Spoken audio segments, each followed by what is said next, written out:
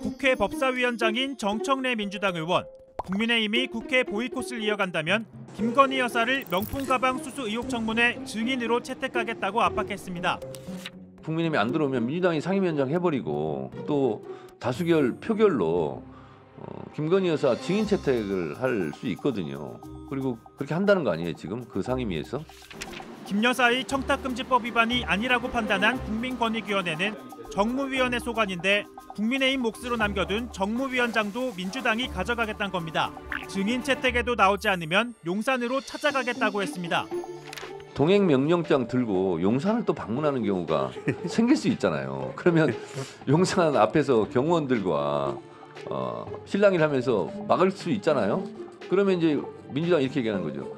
아, 최재형 목사 디올백 갖고 갈 때는 안 막더니 왜 막냐. 또 이런 실랑이가 벌어질 수 있잖아요. 국민의힘은 민주당의 일방적인 청문회는 국회를 여론재판장으로 만들려는 것이라고 비판했습니다.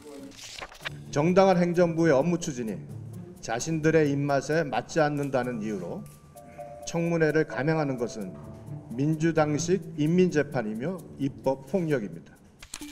이재명 대표의 사법 리스크 방탄에도 청문회를 이용할 거라고 주장했습니다.